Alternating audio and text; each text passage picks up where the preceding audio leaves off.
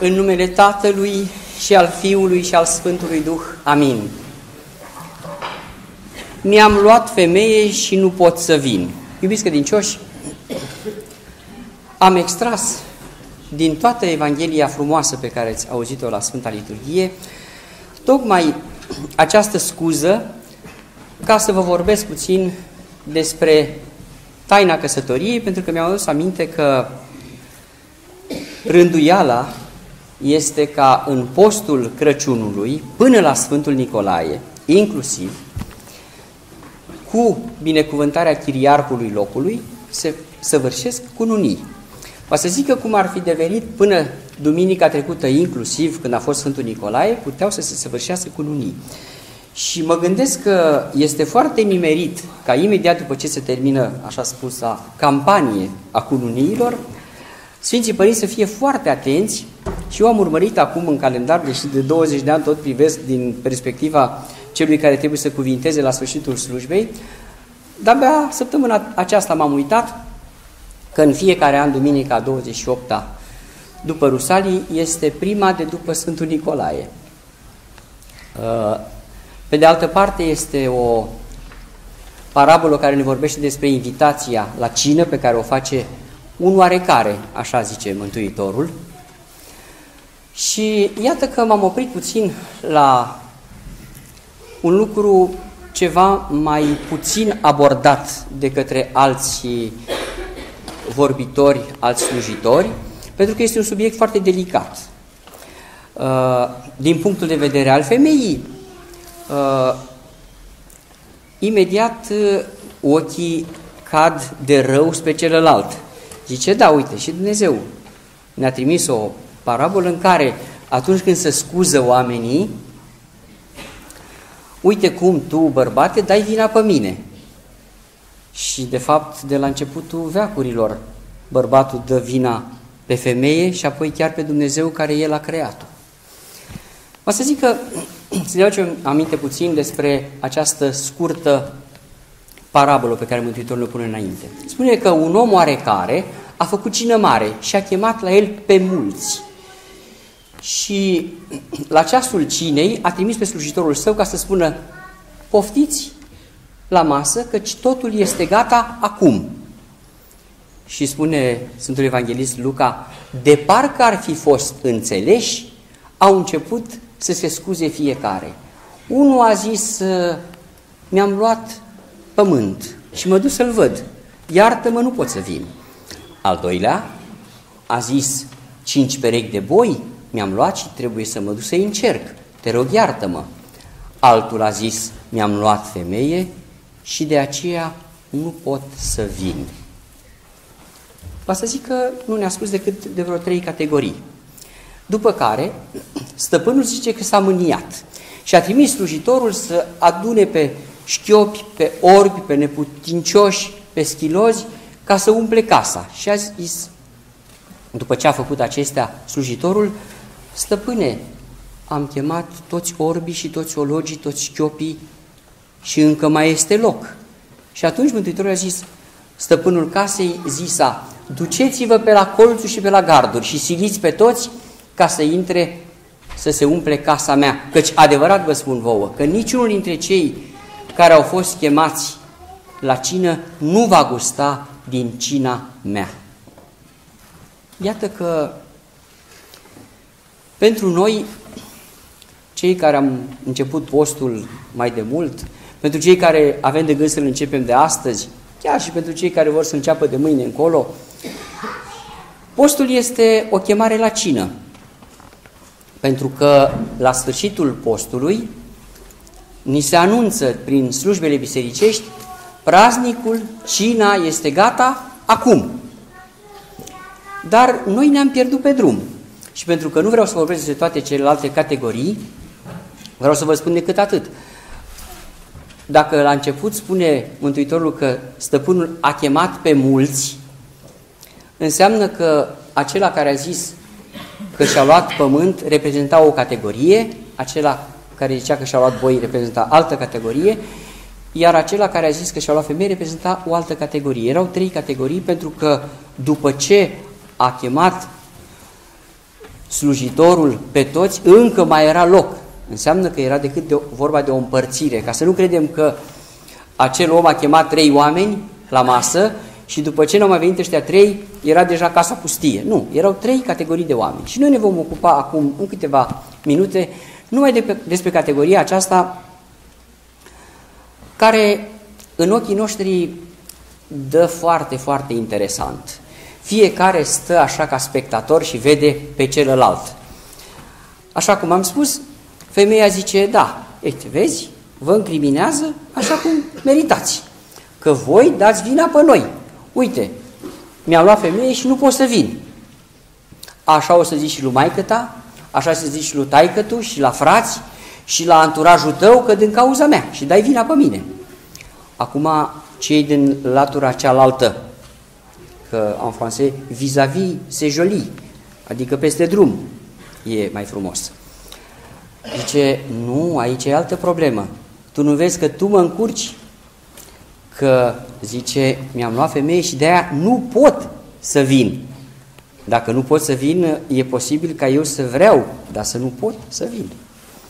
Ei, vreau să dau la pace între cele două categorii, spunându-vă ceva care nu neapărat să vă capteze atenția, ci spunându-vă ceva adevărat. Se spune că odată o păpușă de sare era pe o plajă și se îndrepta ca hipnotizată către apă și întreba în gura mare, cine ești? Și marea îi răspundea, sunt marea. Și ea tot înainta. Și întrebând, întrebând cine ești și răspunzându-i se, sunt marea, ultima întrebare pe care a pus-o, atunci când s-a apropiat de apă foarte mult, a fost aceeași, cine ești? După care răspunsul și l-a dat singură, pentru că făcea parte din mare și a spus, sunt marea. Acestea sunt cele două capete ale lumii bărbatul și femeia. Curiozitatea ne face să ne apropiem la început unul de celălalt. Curiozitatea, vedeți că încă de la Adam a fost ostoită, ca să spun așa, degustarea din mărul cunoștinței binelui și răului. Acum, să știți că nu neapărat este vorba de măr, dar e vorba de pom, de roada unui pom. V-ați întrebat oare de ce atunci când sunt mici, copiii, când iau o jucărie în mână, să uite ce să uite, după care o bagă în gură? De ce? Ca să o cunoască. Ne-a rămas de atunci primordiala dorință de a cunoaște prin gură. Și o ia, o mestecă ce o mestecă, își dă seama că nu e de mâncat, noi, noi credem, îi dăm peste mână, credem că el nu știe, el știe dinaintea noastră, de când a pus mâna pe ea că e tare și nu e de mâncat, că ălea de mâncat să mai moi. Nu asta e problema. Dar el vrea să o cunoască. Ei, ce înseamnă dorința sinceră între un bărbat și o femeie de a-l cunoaște pe celălalt? Înseamnă exact păpușa de sare pe malul mării. Băiatul vine către fată și zice, măi fată, cine ești? Zice, eu sunt Ileana. Băi, fată, cine ești? Ileana. Până când se întâlnesc și se topesc unul în celălalt și întrebarea devine răspuns. Aceasta este invitația la cină. Aici trebuie să mergem mai departe cu celelalte categorii care, să știți că nu sunt nici de cum departe ci sunt atât de apropiate și, în primul, în al doilea rând, nu sunt vrednice de a se da cu pietre în niciuna. Atunci când au început scuzele, toată lumea se gândește, ia uite mă, după ce că i-a chemat la cină, știi, după românește, bă, păduchioșii, după ce că le dă cineva să mănânce chiar așa, să, să respingă. Nu, fraților, e vorba de noi, e vorba de sufletele noastre. De câte ori Dumnezeu nu ne spune, băi fraților, haideți să vă simțiți bine, haideți la o cină. Nu ne spune organismul nostru, că Dumnezeu ne cheamă prin noi înșine. Când suntem obosiți, nu ne cheamă organismul nostru la a ne odihni puțin, la a mai face o pauză. Asta e chemarea lui Dumnezeu la cină. Hai mă, că ceasul, e, zice, cina este gata acum. Nu e mâine, nu e poi mâine, este acum. Dumnezeu să știți că ne cheamă la cină acum. Și acum este acum, adică în orice moment. Important este să avem urechi de auzit, să auzim. Atunci când ne cheamă Dumnezeu prin trupul nostru, trebuie să știm că din acel moment, dacă amânăm, urmează ca Dumnezeu să ne mai trimită câteva semnale. Semnalele le trimite prin diverse diagnostice.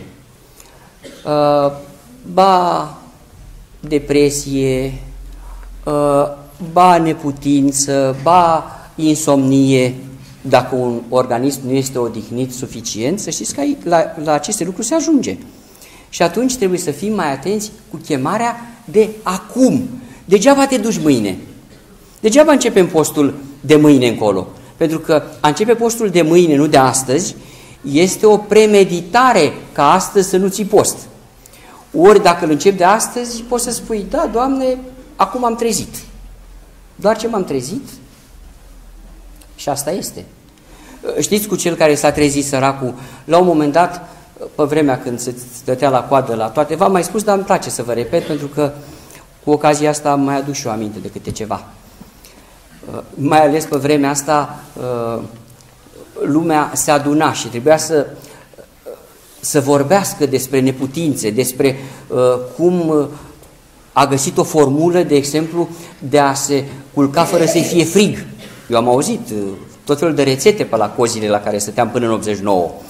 Și spunea, o, oh, era unul foarte, foarte isteț. Și zicea, măi, să știți că nu trebuie să vă luați, acum eu vă zic pe bășleau, să vă luați indispensabil înainte, nu ce, luați o pereche de pantaloni, după aia și după aia o pereche de pantaloni. Domne, era o rețetă. Omul deja se simțea mai bine că era profesor universitar, domnule, adică nici nu știai cine ascultă. Că niciodată nu știi cine e lângă tine și te ascultă. Și el era toată lumea și aulă, ia uzi, toată lumea își făcea planuri în ce dulap are așa ceva, ca până în seară nu cumva să uite formula. E, și să zice că odată, unul i s-a, i s-a făcut rău pe stradă. I s-a făcut rău, dar nu era nimeni pe lângă el și lângă un, un, un colț de clădire a leșinat. Bă, fraților, nu știu cât o fi stat omul în leșin. Cert este că după câteva minute când s-a trezit el, să formase o coadă de vreo 50 de persoane. Și la coada cozii, ca să zic așa, unul îndrăzește să întrebe, că nu îndrăznește la ce stai, la orice, nu era problema. Dacă să știi cu ce te pricopsești. Ce să dă, ca atunci când mai erau puțini, ce să se dea numai câte una, ca să ajung la toată lumea. Ei, acum, unul din capul cozii, băi, nu se mișcă coada asta, stăm de câte, dar nu se mișcă, dar la ce stăm? Și nu știu, domnule, Păi îmi dați voie să mă duc să întreb în față? Stai, domne, aici, că ți altul locul.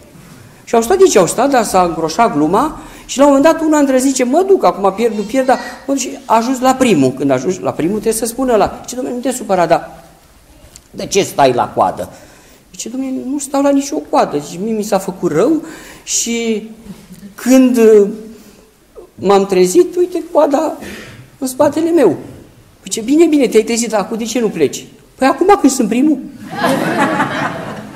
Băi copii, problema este următoarea. Invitația la cine trece și până așa ceva. Noi credem că invitația la cine este făcută așa numai de... Se face o anumită ordine. Despre ordine am vrut eu să vă vorbesc la început.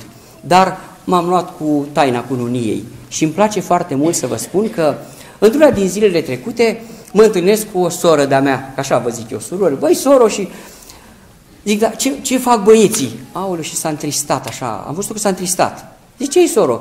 E, ce părinte, da, e adevărat că știți prea multă lume, ce nu știți că am decât un băiat. Nu, soro, într-adins te-am întrebat.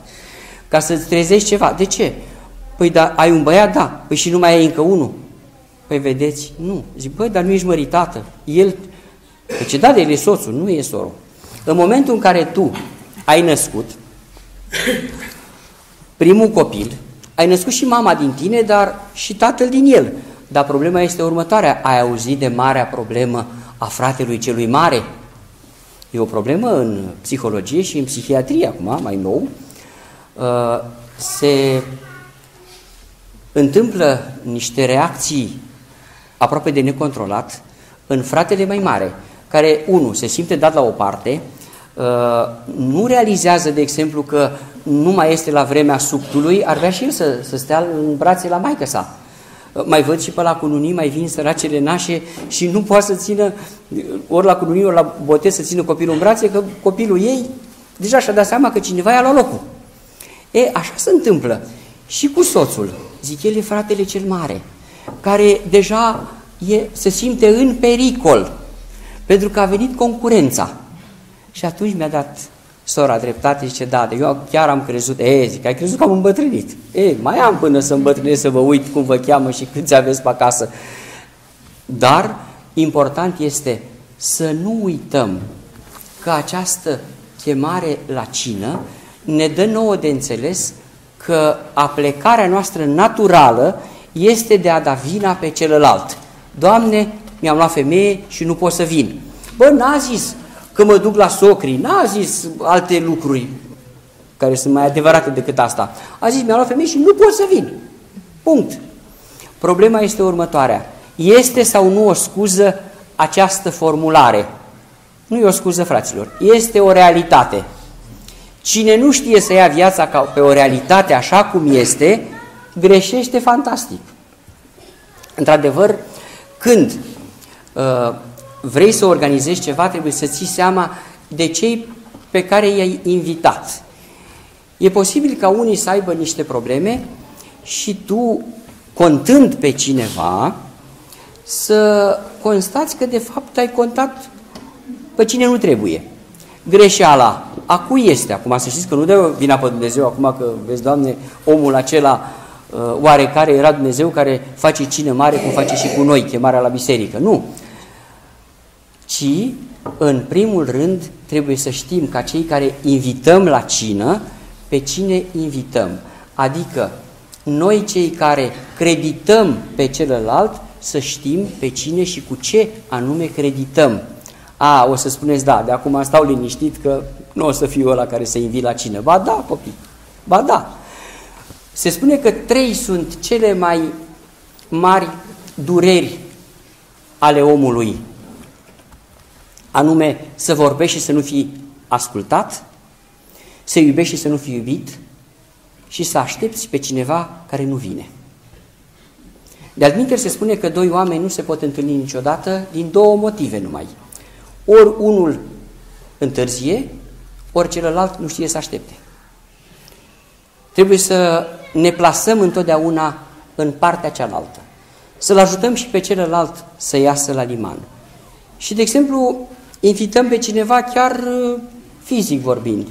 Acum mai nou, invitațiile la tot felul de acțiuni se fac pe bază de uh, invitație și răspuns.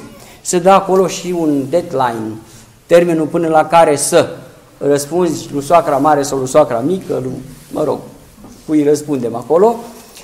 Și oamenii chiar și așa parcă nu au această aplecare de a spune adevărul.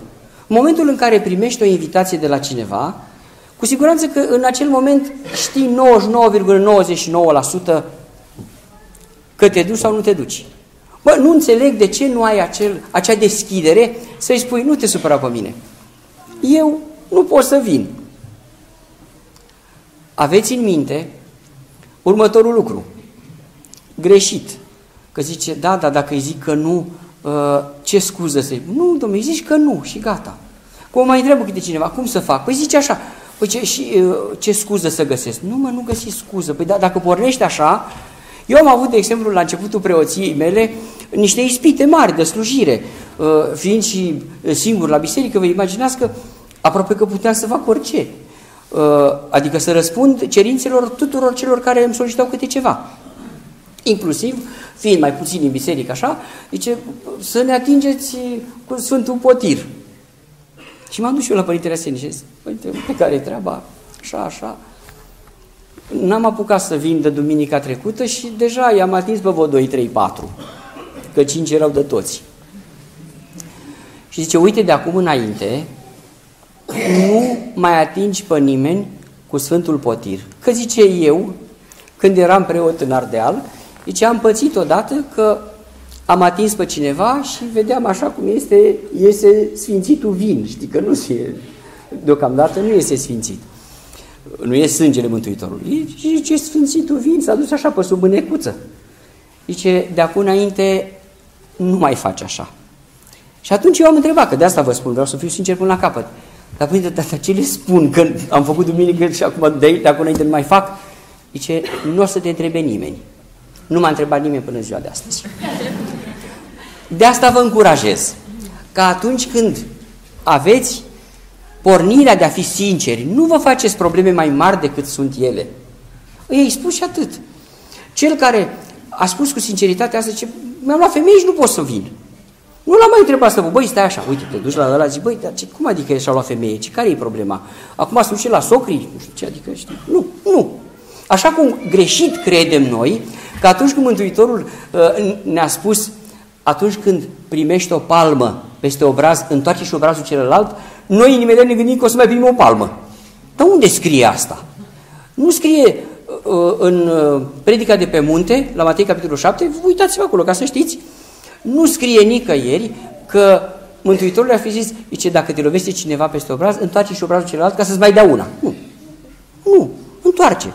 V-am mai spus pe, despre cel care, din vina mea, uh, eram uh, cu un căruț foarte mare și plin, tot așa, cam de sărbători eram, la un hipermarket și fără să fiu atent și în general nu prea sunt atent, dacă ziceți că nu v-am salutat sau așa, să știți că nu prea văd multă lume. Eu văd ale mele. Dar văzând unde ale mele, n-am văzut pe ale altora picioare. Și era un săracul care trăgea dintr-un picior și mergea încet. După ce că mergea încet, exact pe piciorul ăla l-a încălcat eu cu căruțul. Băi, și până să, s-a întors la mine și ce mi-a zis și ce așa.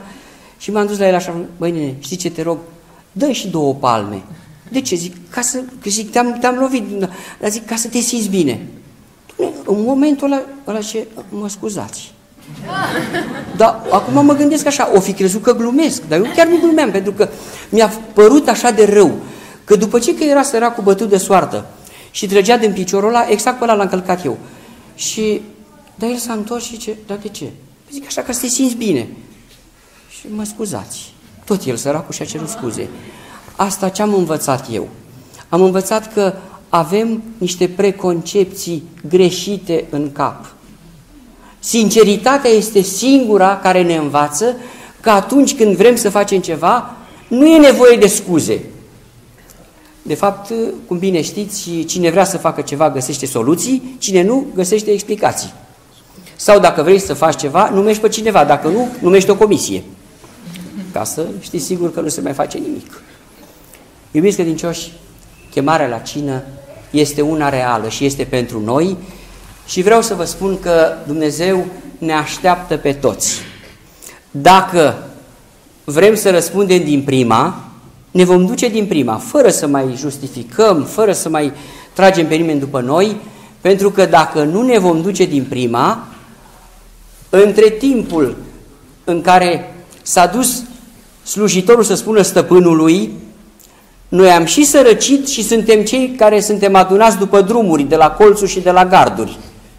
Sunt sigur, deși nu scrie în Sfânta Scriptură, că dintre cei care, unul și-a luat pământ din categoria aia, unul, altul și-a luat uh, boi și altul și-a luat femeie, măcar unul dintre ei, cu siguranță, și sărăcise sau și își pierduse boii și pământul sau poate și divorțase, ca să vă zic așa, până când a venit să-i adune de la garduri și făcea parte din altă categorie. Depinde de noi din ce categorie vrem să facem parte atunci când ne ducem la cină. Dacă nu suntem atenți și pierdem invitația de onoare, este posibil să ajungem la cină, dar în altă categorie. Noi ne rugăm astăzi Bunului Dumnezeu ca cina care ne așteaptă la praznicul cel mare al nașterii Domnului să trezească în noi sinceritatea. Ne ducem sau nu ne ducem?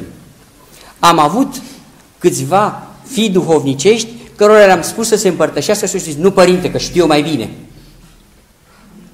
Nu vă spun că m-am întristat ca duhovnic, dar vă spun așa, vor da socoteală pentru că au o dezlegare pe care n-au folosit-o, au o invitație la cină pe care n-au onorat-o. Și ferească Dumnezeu să nu cumva să fie adunați de la colțuri și de la garduri. Doamne ferește, nu e vreun blestem, dar este o realitate. Trebuie să știm că atunci când se deschide poarta și suntem acolo și toți suntem primii, Hai să intrăm, fraților. Mare este Dumnezeu, iar praznicul care ne așteaptă este mai mult decât o invitație la cină.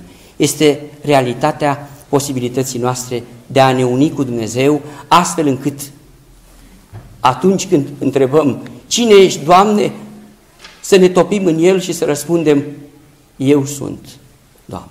Așa să ne ajute Dumnezeu.